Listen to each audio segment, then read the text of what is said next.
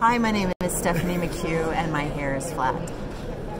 Hey, it's me back in Denver at the Toastmasters International Conversation. I'm here with my friend Stephanie McHugh. We're going to talk about humor in speaking. Stephanie is a veteran comedian.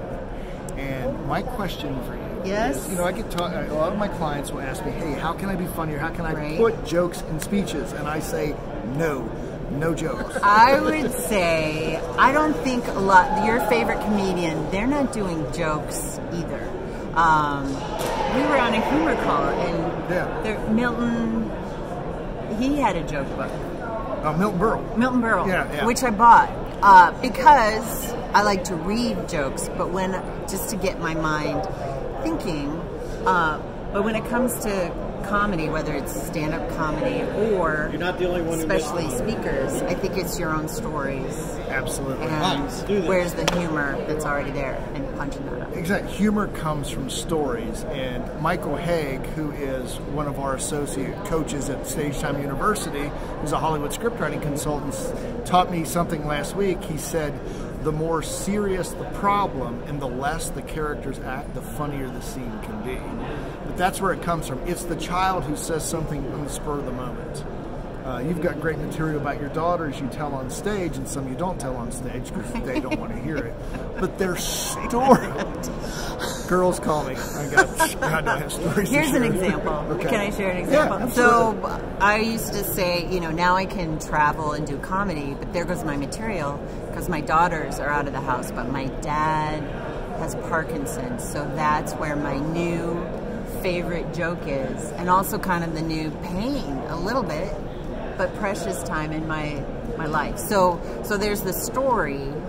Um, about uh, I take him. To, should I go No, to- into it or by not? all means, do do it. This is about humor. I'm like, so No, bef- anyway, uh, no, I'm just kidding. Before we get into this, keep mind, we're not laughing at Parkinson's. Stephanie's dad having Parkinson's is not funny. But what In fact, I would say that's where the pain in my life is right now. Right.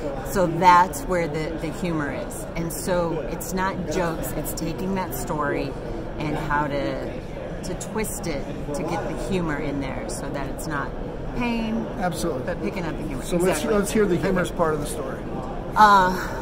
My uh, dad has Parkinson's and dementia, and he goes to a Parkinson's boxing class, and I can take it with him uh, because actually boxing is really good for eye-hand coordination. Sure, yeah. So there is a class for Parkinson's, and at the end, someone came up to my dad and said, "Jim, thanks for bringing the eye candy to the Parkinson's boxing class," and I thought.